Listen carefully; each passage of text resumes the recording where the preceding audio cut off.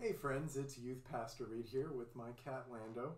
He's been having some fun climbing and now he's putting his claws in my pants. Um, so I know that right now things are really confusing. They are to me anyway. Everything seems so confusing. I don't really know what's going on all the time, and I bet you feel kind of the same way. That's okay. It's okay to not know. It's okay to be confused. One of the great things about not knowing is that you can ask someone else. You can learn from them.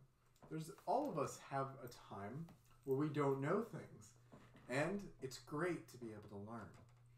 You may feel small, or you may feel like you don't quite know what to do. But that's okay because being small is good, and not knowing can be equally good. Want to show you something. This is a magnet. The magnet is small, and yet it holds up something big like a paper.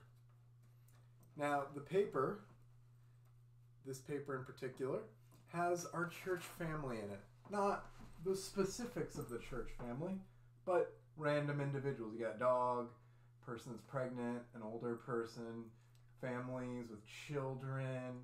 There's a cat. See, do you see everyone in this? I think it's nice. and then I want to tell you a little story that shows about how not knowing can be okay. I thought I didn't want a cat. I told my wife that we shouldn't get a cat. She said, Oh no, it'll be great to have a cat. But I was sure that we shouldn't get a cat.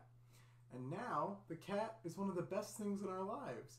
He loves to claw us, he loves to play with us, he loves to be so cute and to purr, he loves to try to climb on things, he loves to run away.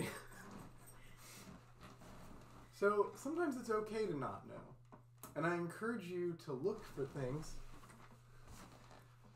to be okay with not knowing and to ask others for help. And remember that you too can be strong.